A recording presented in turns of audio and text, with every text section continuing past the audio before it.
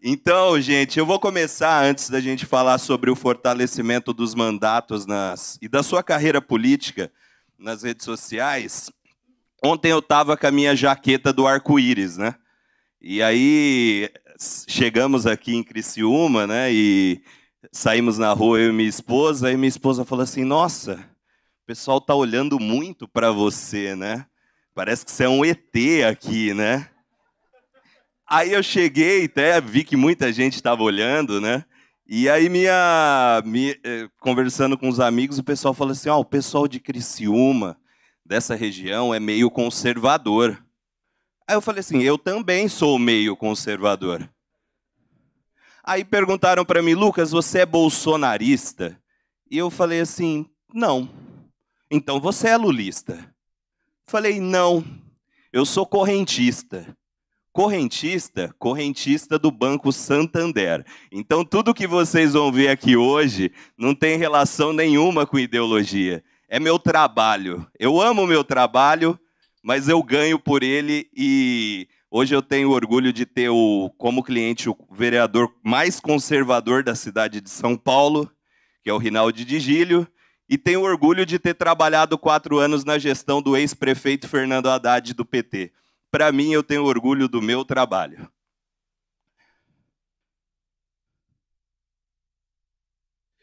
Só para a gente começar, tem muita gente, depois de 2018, todo mundo fala assim: rede social dominou. Acabou TV, acabou rádio, acabou rua. A rede social dominou a política, dominou as campanhas, as redes sociais dominaram os mandatos. E chegou 2020 muita gente quebrou a cara, né? Teve gente que só trabalhou nas redes sociais e quebrou a cara completamente. E agora vem o discurso oposto, né? Tem muita gente que diz que rede social não serve para nada agora. Não, para com isso. Para que você está perdendo tempo com isso? Eu investi tudo nas redes sociais e não consegui voto. Então, primeiro, eu queria mostrar para vocês a importância das redes sociais. Para vocês entenderem o quanto elas são importantes. Então, o primeiro dado é esse: sete em cada dez conteúdos consumidos no Brasil estão nas redes sociais. Então, assim, a cada dez vídeos, fotos, matérias, textos, artigos consumidos no Brasil, sete deles estão nas redes sociais. Opa. E Antigamente, né? Eu vou, vou zoar os amigos, né? Posso, né? No tempo do meu amigo Fred Perillo, um dos maiores nomes do marketing político do Brasil, se não o maior, é, o pessoal queria consumir um conteúdo e usava o rádio, né? Então ficava ali no dial do rádio procurando o melhor programa, até encontrar e parar no melhor programa de rádio. O tempo passou e as pessoas passaram, no tempo do Laércio, a zapear na TV. Então, no controle remoto ali, até encontrar o programa e parar. Achava o melhor e parava. Hoje, o feed é a primeira opção de busca por consumo de conteúdo para 75% dos brasileiros, mesmo como segunda tela. Então, o cara está lá assistindo o Jornal Nacional, tá chato, as notícias de sempre, a pauleira de sempre, o cara abre o celular e começa a escrolar a tela, rolar a tela para encontrar um conteúdo para consumir. Essa é a primeira opção de 75% dos brasileiros. Então, se você não usar as redes sociais, você vai estar tá perdendo tudo isso. Você vai estar tá naquele grupo ali dos três conteúdos que não estão nas redes sociais, vai estar nessa opção aí dos 25% que não usam o feed como a primeira opção. Então, ao contrário do que estão bradando por aí, é hora e sempre foi momento de usar e bem as redes sociais. Opa, eu estou me acertando ainda com esse bagulho aqui. É, agora eu queria conversar com vocês sobre os motivos que levam as pessoas, o João, a Maria, o Pedro, a tiazinha ali a entrar nas redes sociais. Por que, que as pessoas entram nas redes sociais? São três motivos só. Não existem outros motivos que levam as pessoas a entrarem nas redes sociais. E nenhum deles é para ver político babaca falando o quanto ele é bom, bonito, lindo, competente e maravilhoso. As pessoas não entram nas redes sociais para ver isso.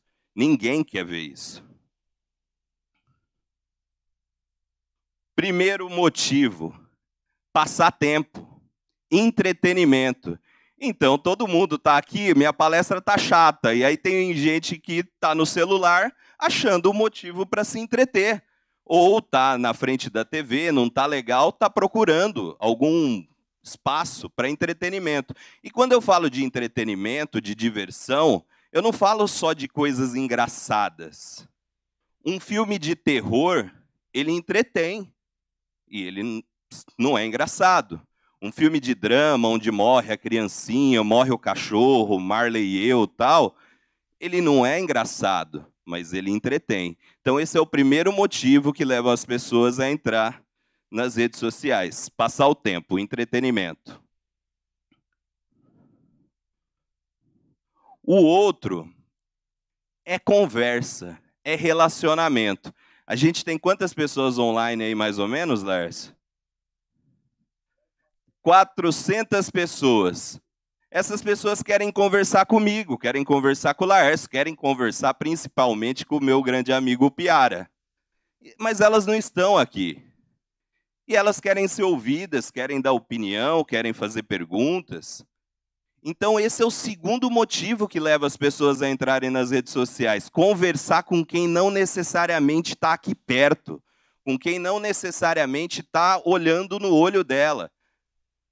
E isso é muito interessante porque tem políticos, vocês, tem muitos de vocês aqui que não gostam de comentários, né? No post. Só gosta de elogio no post. Esquece, meu amigo. Rede social é para comentário mesmo, é para troca, é para relacionamento. Quanto mais o cara conversar com você, mesmo que seja para você é, derrubar um argumento dele, mostrar que você tem razão, ou até reconhecer que você não tem, esse é o objetivo. Então, conversar é o segundo motivo que leva as pessoas que leva as pessoas a entrarem nas redes sociais. E o terceiro, aprender algo novo. Então, por exemplo, a minha sogra, ela não é muito digital, mas ela está sempre nas redes sociais. Sabe por quê? Porque ela quer aprender a fazer uma receita. Então ela quer aprender a cozinhar um negócio diferente e tal. Ela tá lá nas redes sociais. Então as pessoas, elas querem aprender algo novo e as redes sociais são oportunidades de você, político, ensinar algo novo para elas. Ensinar como é que elas acessam um benefício, ensinar como é que elas participam de um programa social, ensinar como é que elas encurtam caminhos para fazer uma reclamação, igual o nosso vereador disse mais cedo. Você precisa entender e ser útil na, nas redes sociais. Porque as pessoas querem isso, as pessoas querem aprender, querem uma informação nova que elas desconhecem, uma visão que elas não sabiam. Elas não querem ver você com o Zé da padaria, abraçadinho aqui assim, reunião importantíssima sobre um assunto muito importante para a nossa comunidade. Dane-se. Importante não é nem para você e nem para o Zé da padaria, quanto menos para o João, para a Maria, que estão ali, que estão ali escrolando a tela do celular. E aí, o que, que, é, baseado nesses três motivos, o que, que os políticos deveriam fazer nas redes sociais? Eu já falei aqui. Os políticos deveriam entreter seu eleitor, deveriam se relacionar com o munícipe, conversar com ele, trocar com ele e, principalmente, levar algo útil para a vida dele. E, e aí eu pergunto: aquele post tradicional, de novo, foto de barreira, eu, Zé da padaria, é útil?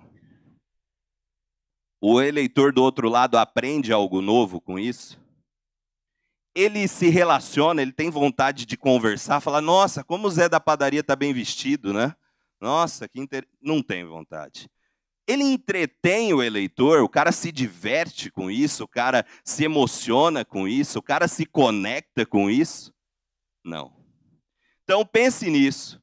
Se vocês fizerem só essas três coisas nas redes sociais, vocês vão estar usando bem.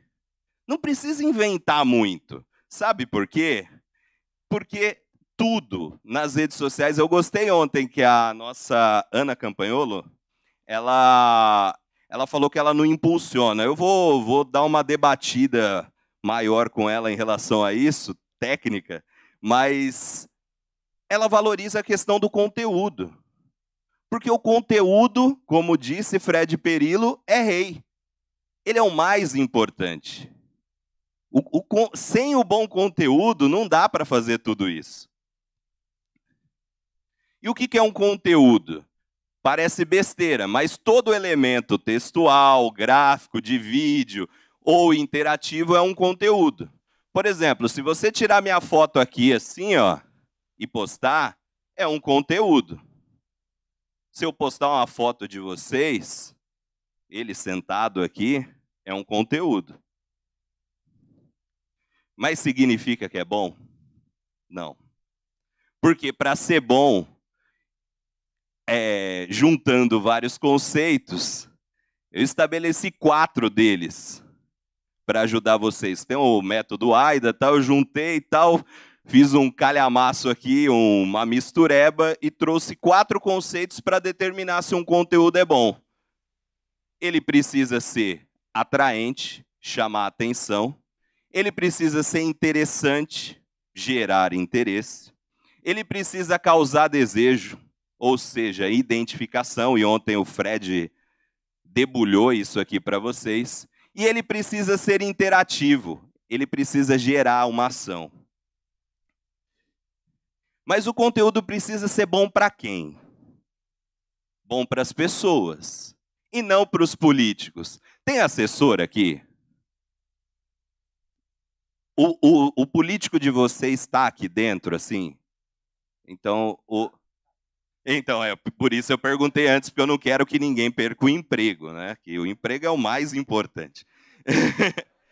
Mas eu tenho certeza que você, assessor, o seu assessorado chega e fala assim: ah, faz um registrinho ali, meu, com o Tião, que, e posta lá na rede. E você pensa assim: vai ser uma merda isso aí. Isso é uma porcaria. E aí, quem é mais corajoso, tá há mais tempo com o político, fala assim: cara, vai ser uma porcaria. Aí o cara fala assim: não, não, não, mas o Tião fica feliz que posta. Eu gosto que posta. Dane-se o que você gosta, cara. Dane-se. Dane-se. O que você gosta não me serve para nada. Importa o que o seu público gosta. O que o seu nicho gosta. Dane-se o que o seu puxa-saco particular gosta. O que importa é o que as pessoas com quem você quer se conectar e com quem você quer se relacionar gostam. Eu ainda vou me acertar com isso aqui.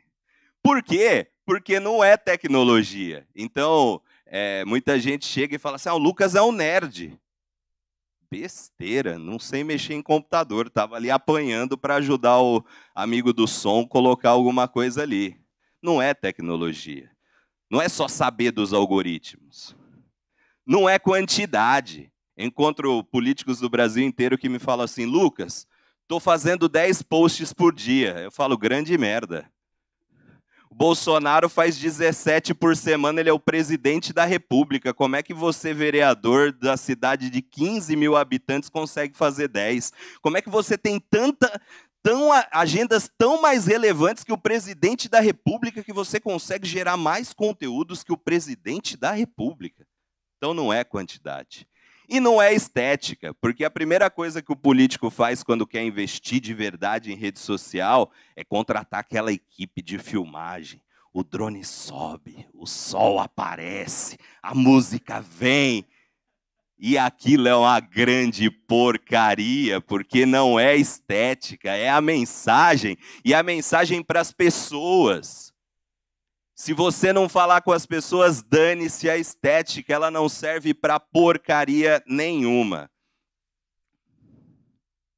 Então, vamos começar a aprender como fazer um conteúdo que seja atraente, interessante, gere identificação e seja interativo.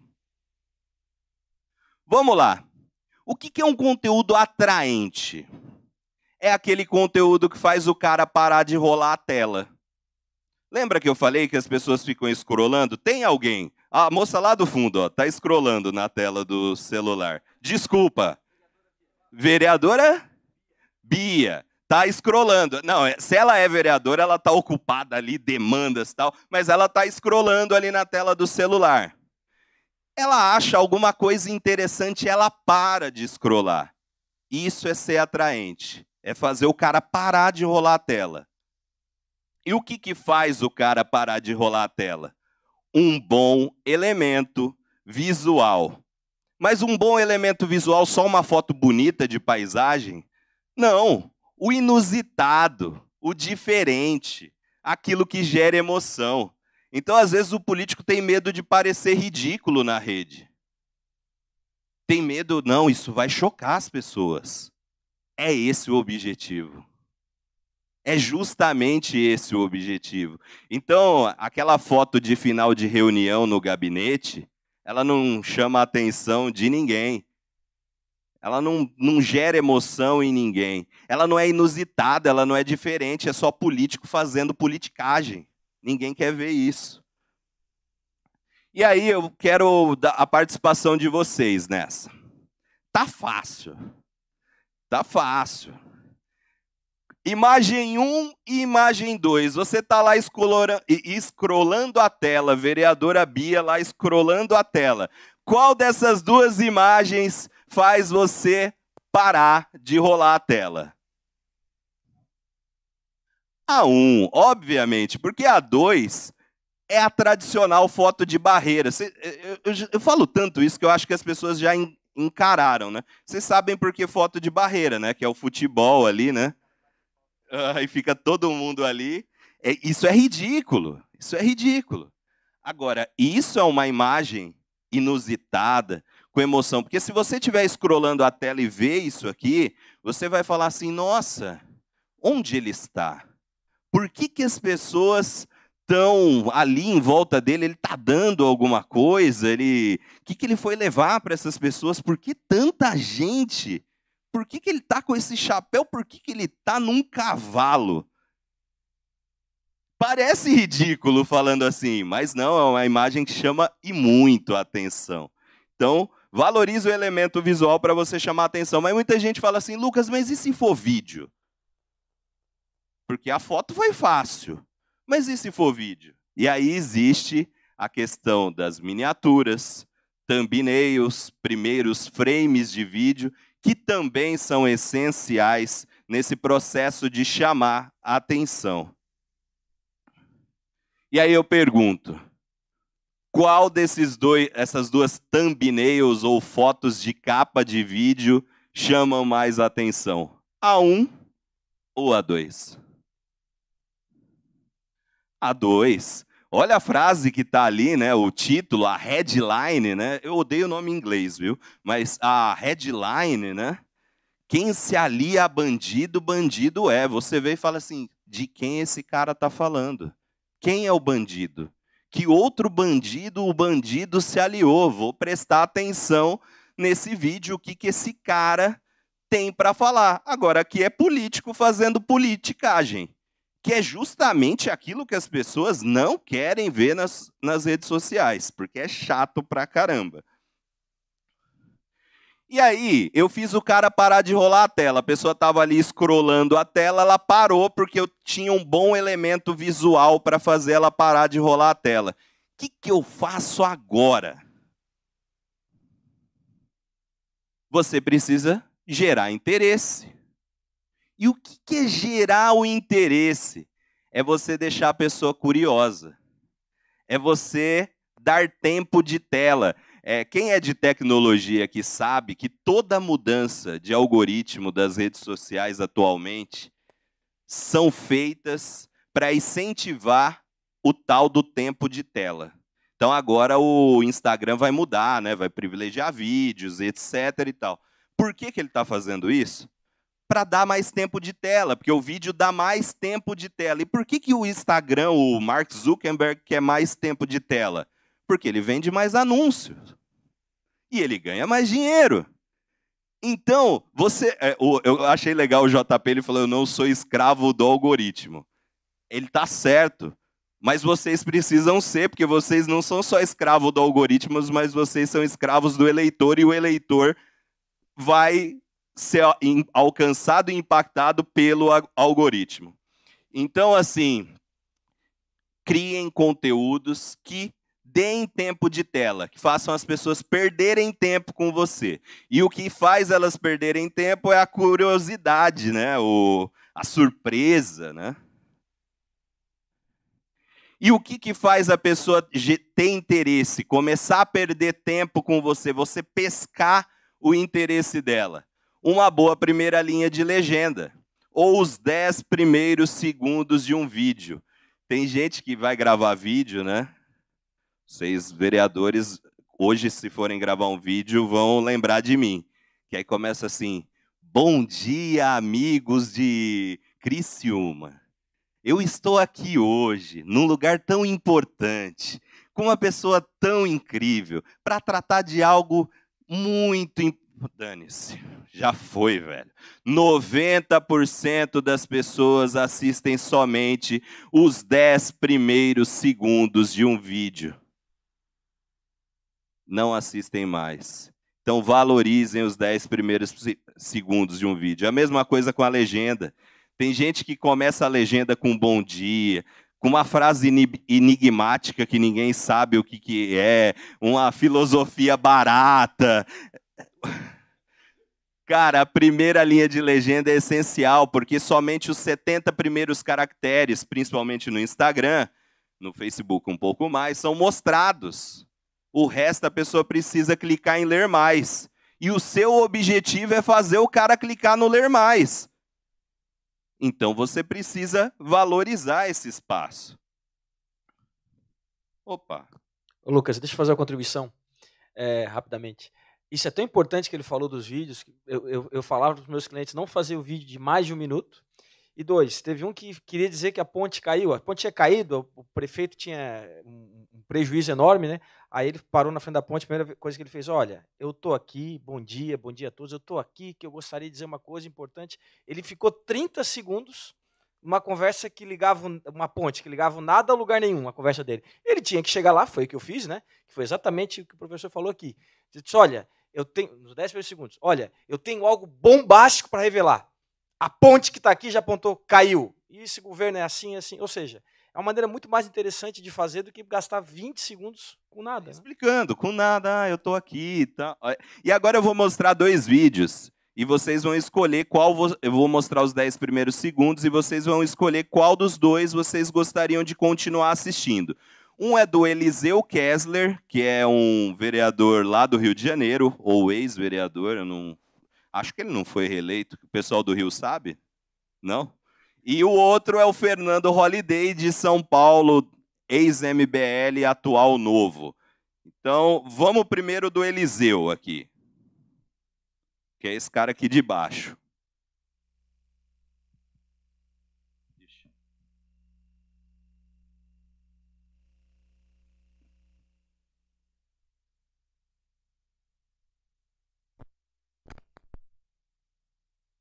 Aí acho que eh, seria legal dar uma, até uma retornada nele.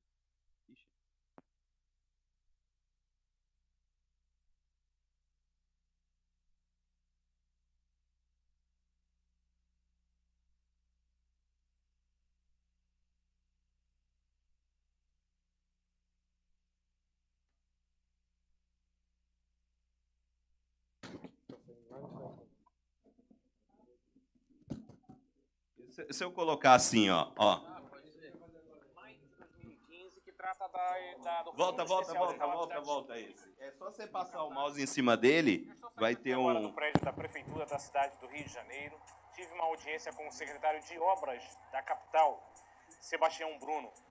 E vim mais uma vez, como sempre, eu tenho alertado sobre isso, eu tenho tratado desse assunto com muita seriedade, em função da minha lei de maio de 2015, que trata da, da, do Fundo Especial de Calamidades Públicas e de Catástrofes Naturais. Surpresa, tive... Pode parar esse. Ixi, volta para a gente tentar pegar o do Holiday. Pode tocar o do Holiday. Eu prometo que essa é a última parte difícil, tá? Hoje a internet ficou repleta de notícias e comentários sobre a agressão física brutal que Carol Heller sofreu por conta da sua sexualidade. Ela que foi uma das grandes apoiadoras de Jair Bolsonaro e conhecida justamente por ser lésbica e apoiadora de Bolsonaro ao longo das eleições, causou grande revolta ao longo da esquerda nos últimos anos e dessa vez também foi vítima de diversos ataques de ódio nas redes sociais. É sobre isso que nós vamos falar no vídeo de hoje. Qual dos dois vídeos você tem mais vontade de ficar assistindo? Do meu amigo Eliseu Kessler, que fala: e hoje eu tô aqui com o secretário municipal de blá blá blá blá blá blá ou com o Fernando Holliday, que já começa ah, uma agressão brutal, já aparece a mulher com a cara toda estourada. Aí você não. E ele deixa a surpresa. Porque ele é apoiadora do Bolsonaro e você não sabe se a mulher apanhou do, dos petistas, se apanhou do próprio Bolsonaro, e você fala: caramba, e agora? Meu Deus do céu, eu preciso assistir isso, cara. Entendeu? Eu não estou falando para vocês serem sensacionalistas, não. Eu estou falando para vocês usarem bem os dez primeiros segundos dos vídeos de vocês. E aí vocês vão falar assim: "Ah, Lucas, no coisa no vídeo tudo bem, mas e na legenda, aquela foto legenda?".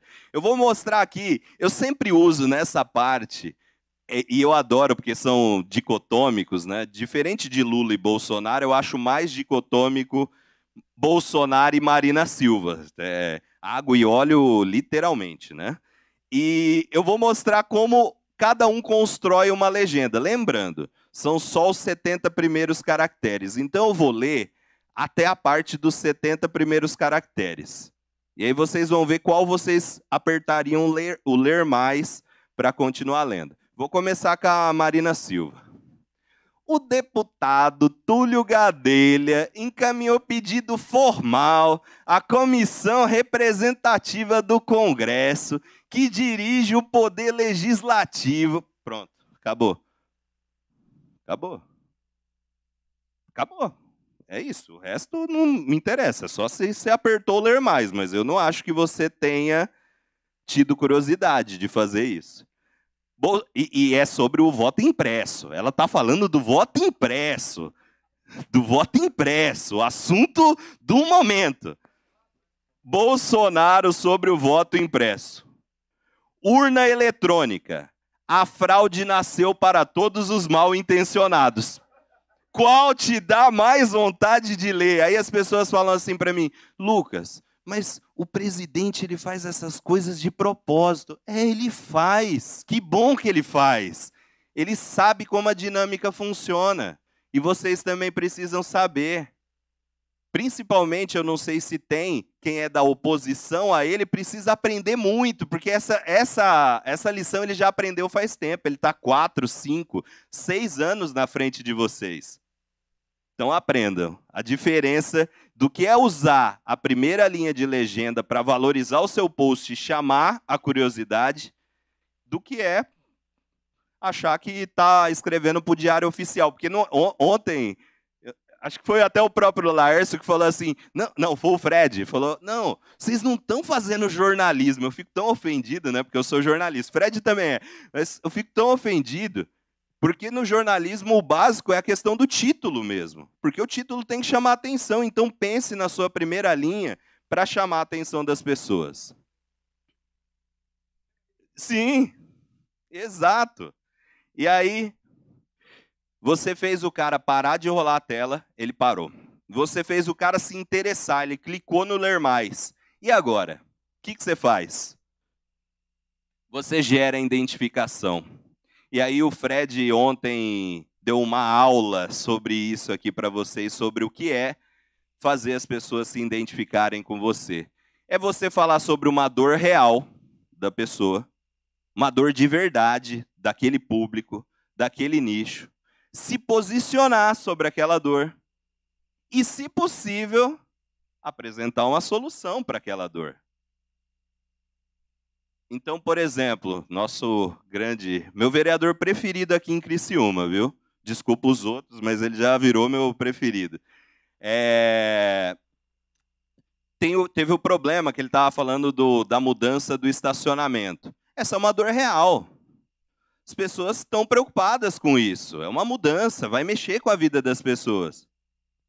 Para de escolher vereador, porque tem 12 câmaras de vereadores que estão aqui. Todas elas os vereadores estão vindo. Daqui a pouco tu escolhe um por cidade preferida, eu vou apanhar. É mesmo? É mesmo. Não, mas aí você escolhe o outro. Você Para escolhe o outro. Eu, Eu escolho escolhi, o eu escolhi a Océlia aqui, ó, a mulher mais votada, eu, eu vou, eu vou com ela aqui.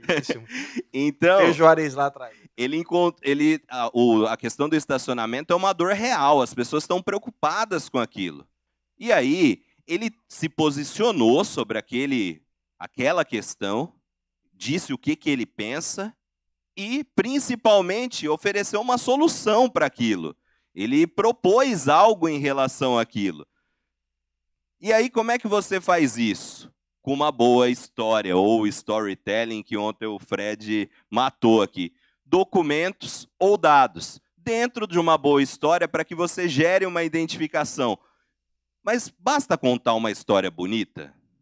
Porque se fosse assim, bastava você post- é, postar as propagandas da Doriana, né? Aqui a Doriana é a manteiga mais conhecida. Em São Paulo é a Doriana, a mais conhecida. Eles fazem aquelas propagandas lindas das famílias na mesa, tal. Bastava postar isso, mas precisa ter uma relação direta com o seu trabalho essa história. Não adianta só a história ser bonita, tem que ter o gancho. Você tem que puxar para você aquela história bonita. E eu vou mostrar aqui um exemplo. João Dória Júnior, governador lá do meu estado. Ele, ele foi prefeito de São Paulo, relâmpago, assim, alguns meses, foi embora e deixou o Bruno Covas, que morreu. E quando ele foi prefeito, ele queria dar uma marca diferente do Haddad. E tinha a questão dos moradores de rua aqui em São Paulo, as pessoas em situação de rua. É que eu falo moradores de rua, minha esposa fica brava. As pessoas em situação de rua. ele está- ele tinha, tem muito esse problema em São Paulo, Cracolândia tal, e ele queria dar uma solução para isso. E ele inaugurou um lugar que chamava Espaço Vida. Dava curso para pessoas em situação de rua, capacitação, vagas de emprego, tratamento. Era um, um centrão, assim, um poupa-tempo do morador de rua, documentos e etc. O prefeito, se fosse um prefeito comum, que não entendesse muito da dinâmica das redes sociais, nessa época ele não era tão de plástico, ele tinha acabado de, de ganhar a eleição para prefeito, Lars, é, faria aquela foto tradicional, né? Descerrando a placa, cortando a faixa e falando: inaugurei hoje o Espaço Vida, que vai oferecer isso, isso, isso, isso, aquilo para os moradores de rua, para as pessoas em situação de rua. Mas o que faz João Dória sobre a inauguração de um Espaço Vida? Olha isso aqui. Essa foto, né? O mora, a pessoa em situação de rua ali, o cara no papelão, de chinelo, apesar do chinelo ser novo, né? É, a marmita ali, ele abaixadinho olhando no olho do, do rapaz, conversando com ele, e ele conta uma história. Gerson tem 41 anos, ele tem uma filha chamada Letícia que não vê há muito tempo. A mãe dela proibiu de ver o pai por conta do alcoolismo. Ele vive nas ruas na região do centro, usa o banheiro e bebe água na Secretaria dos Direitos Humanos e sonha em voltar a viver com a família. Essa é uma das centenas de histórias que eu e a equipe da Secretaria de Assistência Social escutamos com o objetivo de criar programas efetivos. A exemplo dos espaços vidas, que vão ajudar o Gerson e as mais de 16 mil pessoas que vivem nessa situação a terem uma oportunidade de uma vida mais digna. Ouvir, entender e agir é assim que pensamos, é assim que fazemos. Ele não fez a foto descerrando a placa. Ele não fez a foto cortando a faixa. Ele contou a história de um morador de rua que resume a história de quase todos os outros, para que as pessoas olhem e falem assim: nossa, essa ação dele é muito importante para o Gerson e para todos os Gersons. Gera uma identificação. Além de todos os outros componentes que a gente falou, da imagem e tal, que chama a atenção. Mas e se for em vídeo? Aí tem a campanha do Alckmin. Esse vídeo é um storytelling engraçado, é uma identificação engraçada, mas é só para vocês entenderem como, com a história de uma pessoa, você consegue falar de todas as outras, falando de uma dor real e gerar essa identificação. O Alckmin foi candidato a presidente e ele queria falar, e ele era governador de São Paulo, e ele queria falar que o governo de São Paulo era o melhor do Brasil e que por isso ele queria levar tudo de bom que tem em São Paulo para o Brasil. Por exemplo, a saúde. São Paulo é o estado que mais recebe pessoas de outros estados para tratamento de saúde. Então ele queria falar sobre isso. Olha como é que ele contou a história. Ele poderia fazer daquele jeito dele, né? É, inauguramos tal, não sei quantas UPAs, tal, e São Paulo tem a melhor saúde do Brasil. Não, mas ele fez assim. Ele não, o Lula, que era o, o marqueteiro dele. Meu nome é Verônica. Eu tinha 13 anos quando os médicos disseram para mim que eu tinha leucemia LLA. Essa notícia é difícil para qualquer pessoa, mas para mim foi pior ainda, porque eu moro na comunidade Furo Seco, norte do Pará.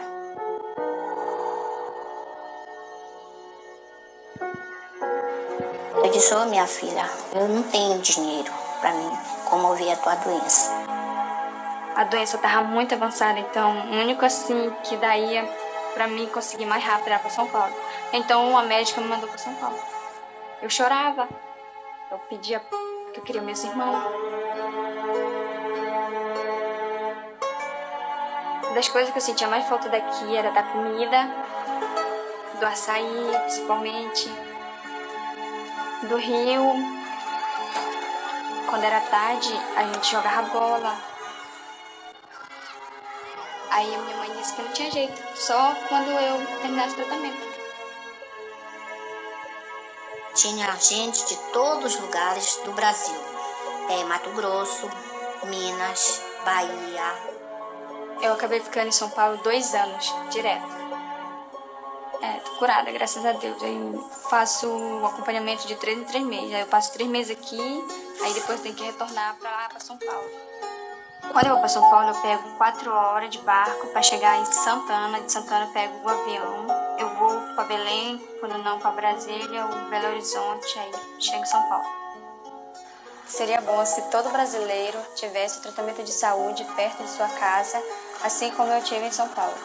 Eu era o melhor eu tratar da minha filha perto de mim, da minha casa, era o melhor para minha família.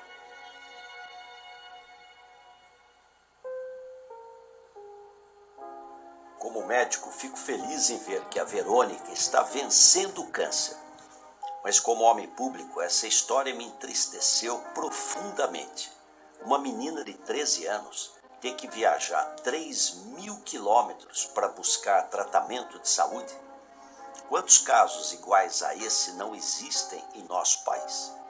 O que os últimos governos fizeram com a saúde pública no Brasil é inaceitável.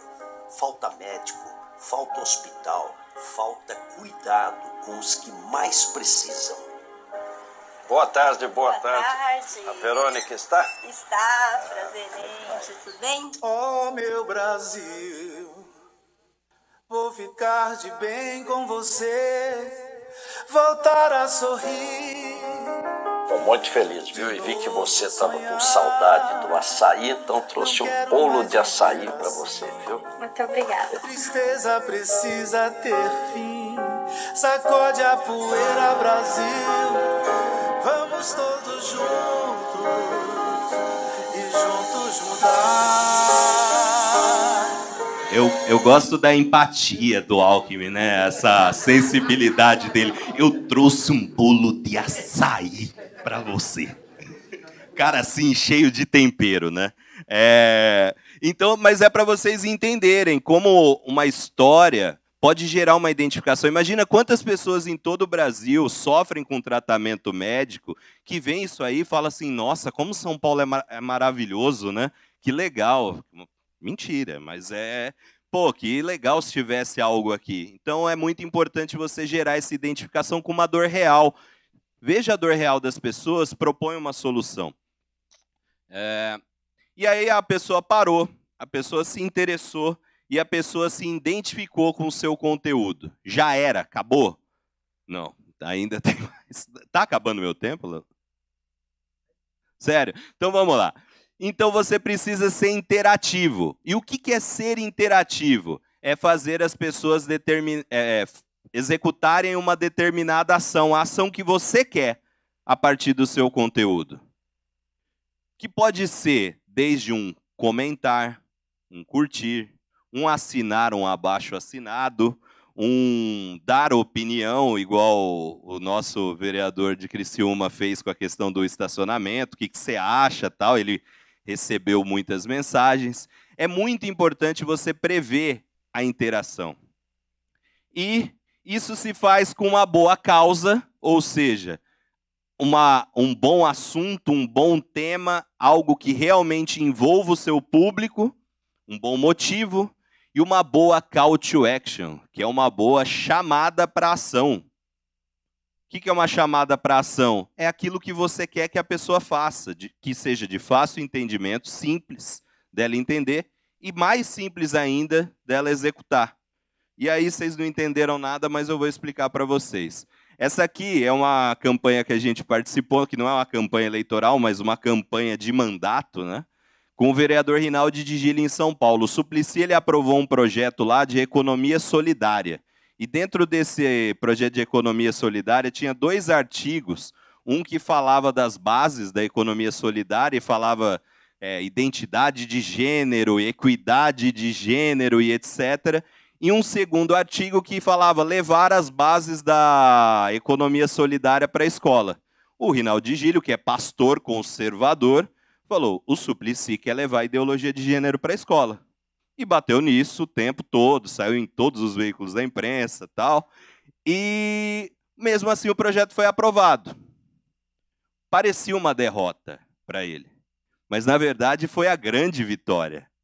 Porque a partir dessa aprovação desse projeto do Suplicy, ele criou um abaixo assinado. Falando que ele ia levar esse abaixo assinado para o prefeito. E realmente levou para o prefeito. E realmente o prefeito vetou aquilo que o Rinaldi pediu que fosse vetado do projeto do Suplicy. Só que o mais interessante disso é que isso gerou 6 mil assinaturas em cinco dias do abaixo assinado. Aí você fala, para que serve a assinatura de abaixo assinado? Vira cadastro, meu amigo. Vira o WhatsApp para você fazer a lista de transmissão que o JP te ensinou. Uma causa ele é pastor, conservador, o público dele é contra a ideologia de gênero. E uma boa call to action. Se quiser ajudar a mostrar a importância desse veto, assine. Fácil, todo mundo entendeu. Então eu quero que seja vetado. Ele vai levar para o prefeito? Eu assino no link, numa landing page uma página de captura. Pronto. Ele tinha 3 mil cadastros na rede dele. Agora ele tem 9. Agora ele tem 9, cadastros, 9 mil cadastros ativos. Mas tem mais. Tem, por exemplo, o Davi Miranda do PSOL. Eduardo Bolsonaro disse que queria um novo AI-5. O Davi Miranda resolveu fazer um abaixo assinado para caçar o Eduardo Bolsonaro. Deputado federal é caçado por abaixo assinado? Não. Mas é uma causa. É, o pessoal do PSOL fala: eu quero caçar o Eduardo Bolsonaro. Como é que eu faço? Clique para assinar. Então eu clico e assino. Ele conseguiu 100 mil cadastros. 100 mil cadastros com uma pauta, com um abaixo assinado que não vale de nada, porque não serve para nada. Mas tem uma causa que mexe com o público e tem uma boa call to action. E aqui uma interação mais simples, né? Também do Rinaldo de Gilha, ele sempre promove essas enquetes de feed. Eu nunca acreditei em interação ativa de feed, a gente passou a acreditar por causa disso. Ele fala em quem você votaria hoje, as pessoas comentam, 950 comentários em 24 horas. Ele não tem um perfil grande, ele é o vereador menos votado de São Paulo eleito. Então, às vezes, você não usa o seu perfil para promover interação. Você não quer que as pessoas interajam. E é muito importante que elas interajam. Por quê? Por que, que é importante? Aí eu já vou pular aqui para a questão do algoritmo do Facebook e do Instagram e das redes sociais no geral, mas em especial do Facebook. O algoritmo funciona, ele tem quatro camadas. A primeira é a origem do post. Quanto mais as pessoas interagem com uma página, mais conteúdo, mais conteúdo daquelas, daquela página as pessoas vão receber. Então, promove interação na sua página. Segundo ponto, a cronologia. Quanto mais recente for um post, mais ele vai tem chance de ser entregue. Então, não pare de postar. Ah, vou postar hoje, daqui 20 dias eu posto de novo. Esquece, seu post tem prazo de validade. Formato. Quanto mais formato uma pessoa consome, mais daquele formato ela recebe. Então, se a pessoa consome muitos vídeos, mais vídeos ela vai receber. E por último, voltando novamente nas interações e envolvimentos. Quanto mais envolvimentos tem um post, curtidas, comentários, compartilhamentos, etc., mais o Facebook, o Instagram vai exibir aquele conteúdo. Então você precisa forçar as interações. E outra coisa, que você aí para acabar e, e, debater com a deputada Ana, né? É, as redes sociais elas não entregam seu conteúdo para todos os seus seguidores. Então, ah, eu tenho 100 mil seguidores, dane-se. Tenho 200 mil, 1 milhão, dane-se. Você vai aumentar seu alcance, mas é o alcance orgânico ele é mínimo. Ele é nada. Segundo o We Are Social, somente 5,17%. Então, se você tem 100 mil seguidores, vai entregar para 500 pessoas? 5, 5 mil pessoas? 5 mil pessoas, 100 mil seguidores no orgânico. E, por, e justamente por isso, você precisa pensar em impulsionamento, você precisa pensar em mídia paga, você precisa pensar em investir no seu conteúdo, não só na produção, mas também em alcance, em alcance segmentado para o público certo, para as pessoas que vão se interessar para aquele conteúdo, porque senão você jamais vai furar a bolha, você vai falar com as mesmas pessoas e com as pessoas que já votam em você. Como disse um amigo ontem, você vai pregar para convertido. Adianta? Não, não rende, né? Então, pense nisso. Trabalhe impulsionamento. Não despreze isso. É, igual a deputada Ana falou assim: eu não vou investir em impulsionamento. Ela é exceção da exceção. Jamais é, se coloque na mesma régua da exceção. Se coloque na régua comum. Porque um dia você pode virar exceção e fazer tanto sucesso para virar exceção. Então é isso, galera. Desculpa ter passado do, do tempo, passei. E aqui tá para é, eu tenho lista, eu tenho meu Instagram que é o arroba Lucas Pimenta nos olhos, onde eu posto conteúdos todos os dias. Tenho meu site onde tem artigos, cursos, etc, que é o lucaspimenta.me e tem esse QR Code aqui nem combinei com o JP, onde você entra no meu grupo lá de WhatsApp, é um grupo silencioso, mas você consegue o meu próprio contato lá, então se vocês quiserem me trazer para fazer campanha aqui em Santa Catarina... Desde que não seja contra mim, faz favor.